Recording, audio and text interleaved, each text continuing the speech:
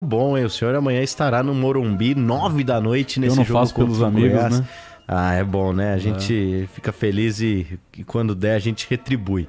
Não financeiramente, mas é o seguinte, o, o Dorival que no fim das contas acabou realizando duas atividades antes desse duelo. A expectativa era apenas um, mas o Dorival que acabou não comandando um treino na Venezuela ontem, mesmo com a equipe voltando desgastada de madrugada da Venezuela, o Dorival comandou uma atividade no CT do São Paulo e hoje finalizou os trabalhos visando esse duelo contra o Goiás. Não temos boas notícias com relação aos retornos, porque nem Arboleda e nem Rodrigo Nestor evoluíram com relação àquela fadiga muscular, né? Ambos com uma fadiga muscular e novamente os dois atletas desfalcam o São Paulo. Não viajaram para Venezuela, ficaram fora do jogo de terça-feira, né? Mesmo com os titulares viajando, boa parte entrando ao longo do segundo tempo nessa vitória do São Paulo por 2 a 0, os dois ficaram por aqui justamente, né, tentando essa recuperação a tempo, que não aconteceu, portanto, São Paulo segue sem dois atletas importantes, Arboleda e também Rodrigo Nestor. Mas o Dorival aparentemente não perde ninguém para esse jogo dos atletas que já estavam à disposição. Pode ganhar, quem sabe, reforços com relação ao David, que vem treinando nos últimos dias, né? O David já tá um tempo sumidinho desse time do São Paulo, desde a saída do Rogério Ceni, né? Até mesmo um pouco antes. O David teve um problema muscular um pouco mais grave e desfalcou o tricolor aí nas últimas rodadas. E também com relação ao Mendes. O Mendes que ficou de fora dos últimos dois jogos, vinha com dores no pé também treinou normalmente os últimos dias. Quem sabe aí esses dois, esses dois atletas, o Mendes é mais fácil ficar à disposição por conta do, do tempo que ele ficou de fora, um tempo mais curto.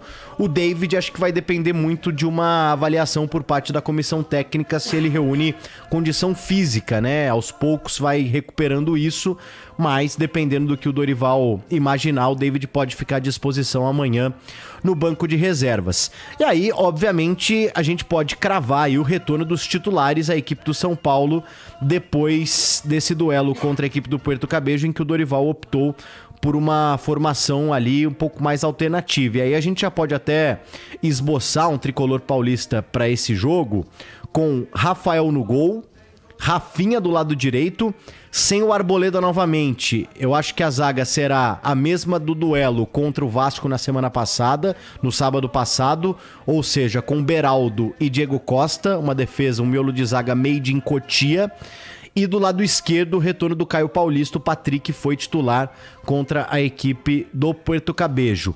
Meio de campo do São Paulo, acredito eu, com Pablo Maia, Gabriel Neves, e aí com a ausência do Rodrigo Nestor, o Dorival Júnior deve escalar o Michel Araújo, portanto, então, Pablo Maia, Gabriel Neves, Michel Araújo. E aí, quem sabe de novo, assim como foi contra o Vasco da Gama, um trio ofensivo com Marcos Paulo, Luciano e Caleri, ou mesmo ele pode abrir mão de um desses atacantes, muito provavelmente o Marcos Paulo, para escalar o Wellington Rato que vai ter numa sequência, né? Foi bem contra a equipe do Puerto Cabejo, marcou um gol de falta, São Paulo não marcava um gol de falta há mais de um ano e meio, então o Wellington Rato aos poucos vai ganhando essa confiança também do Dorival Júnior. Então vai depender muito do que o Dorival imagina. Ou com o Wellington Rato ali, ou mesmo com esse trio formado por Marcos Paulo, Luciano e Calério. O time do São Paulo não deve fugir muito desse não, viu, Soler? Então, um, repeteco aí desse provável São Paulo, pra eu anotar direito aqui. Vamos lá então. Rafael no gol, Rafinha na lateral direita, Beraldo e Diego Costa na defesa e Caio Paulista do lado esquerdo. Meio de campo com Pablo Maia, Gabriel Neves, Michel Araújo, Marcos Paulo ou Wellington Rato, Luciano e Caleri deve ser o time do São Paulo para enfrentar amanhã, nove da noite, o Goiás no Morumbi com mais de 45 mil ingressos vendidos de forma antecipada. Solé. 8, 9, 10. São 10 jogos seguidos sem perder do São Paulo, né? 10, 11 jogos. 11 jogos. 10 com Dorival e um E com o Rogério Ceni, é, Vitória contra o Justamente contra o Porto, Cabejo. Isso. E três vitórias seguidas. Três vitórias seguidas. Isso, o Dorival que tem dentro desses 10 jogos são sete, então são seis vitórias e quatro empates.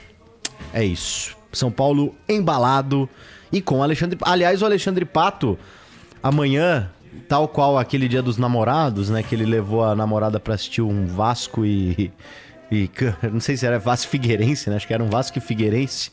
Amanhã o Pato estará presente no Morumbi nesse grandioso horário das nove da noite. Vamos ver se ele vai levar a senhora Bravanel pro confronto, né? Pelo menos não é dia dos namorados. Tá chegando, hein, Gustavo Soler? Mas Tá chegando.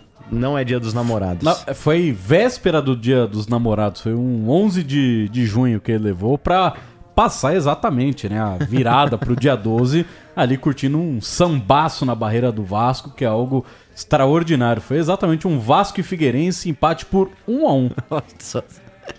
Grande. Sabe curtir, sabe viver, nosso Alexandre Pato. E aí, questionado sobre a reportagem, Pato respondeu: vim ver o jogo. Limitou-se a dizer o atacante do Milan. Bora.